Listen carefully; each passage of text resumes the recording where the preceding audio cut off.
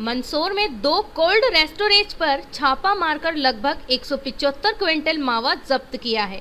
जानकारी के मुताबिक मावा लगभग दो महीने पहले से कोल्ड रेस्टोरेंट में रखा है। मंदसौर तहसीलदार ने बताया कि रविवार शाम से ही अलग अलग मावे के व्यापारियों के गोदाम व दुकानें चेक किए जा रहे हैं।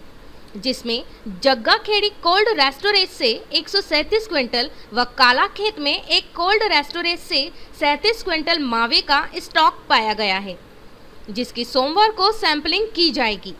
सैंपल रिपोर्ट के आधार पर प्रशासन फर्म संचालकों पर कार्रवाई करेगा। मंदसौर कलेक्टर मनोज पुष्प ने रविवार को एक स्पेशल टीम गठित कर कर एक साथ कई मावा व्यापारियों के यहाँ छापेमार कार्रवाई के निर्देश दिए थे।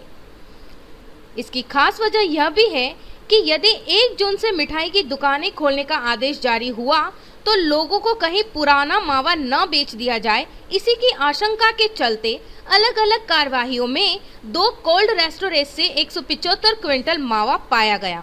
मिली जानकारी के अनुसार दोनों व्यापारियों के पास उक्त संग्रहित मावे का कोई हिसाब किताब नहीं पाया गया है। माना जा रहा है कि यह मावा लगभग दो महीने पुराना है।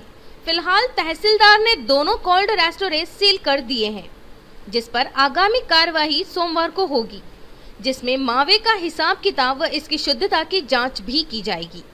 देखिए, मंदसौर शहर में कलेक्टर साहब के निर्देशन, निर्देशानुसार पूरे कुछ मावा जो स्टोरेज वाले हैं, उनको चिन्हित किया गया था और उनका, उन पर सभी टीम बनाकर एक साथ सभी की जाँच की गई, ताकि किसी प्रकार की कोई हेरफेर ना कर सके। तो उसी में लगभग छः बजे से कार्रवाई प्रारंभ की गई थी तो उसमें जहाँ जहाँ के इनपुट्स थे, वहाँ वहाँ चेक किया गया।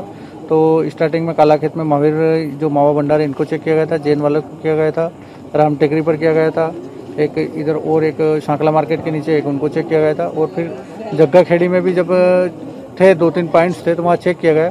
तो लगभग लगभग एक कुंटल जैसा उन्होंने बताया था, कि साढ़े पाँच सौ बैग है, पच्चीस किलो की भर्ती में तो वो भी मिले हैं, उनके द्वारा कोई दस्तावेज़ पेश नहीं किए गए। तो उसको पूरा सील्ड कर दिया गया है और फिर बाद में एक और सूचना मिली थी कि यहाँ पर भी काला खेत में इनका महावीर वालों का ही एक और गोडाउन है जिसमें कोल्ड स्टोरेज बना रखा है इनने घर में। तो उसको देखा गया तो इनके द्वारा लगभग बताया गया है कि डेढ़ सौ बैग यहाँ पर भी हैं तो 25 किलो के मान से लगभग ये भी इनके द्वारा ऐसा बताया गया हाँ, क्योंकि 25 किलो की भर्ती में है और डेढ़ सौ बैग हैं ये। तो सैंतीस, चालीस, सैंतीस कुंटल के लगभग लगभग है ये, तीस से अधिक कुंटल है। देखिए, कुल मिला के लगभग लगभग एक कुंटल के लगभग आज मावा चेक किया है और उनको जितना भी है ये एक कुंटल ये दोनों जगह सील्ड कर दिया गया है ताकि कोई किसी प्रकार के उसमें हेरफेर नहीं करें। अब सुबह लेबर बुला के जो भी है इनके पूरे दस्तावेज़ चेक करेंगे, जिन जिनके पास क्या इनके पास लीगल डॉक्यूमेंट्स हैं। कार्रवाई देखिए क्या है कि लॉकडाउन फोर खत्म होने को है और लॉकडाउन फाइव में संभावित है कि जो मिठाई की दुकानें भी खुलना है तो मिठाई की दुकानों में जो मावा यूज़ हो वो पब्लिक के जो स्वास्थ्य है उसको दृष्टिगत रखते हुए कि उनको किसी प्रकार का ऐसा नहीं हो कि वो व्यावसायिक हितों के के कारण वो खराब चीज़ कोई सेल आउट कर दे तो जिससे कि जनता का स्वास्थ्य खराब हो।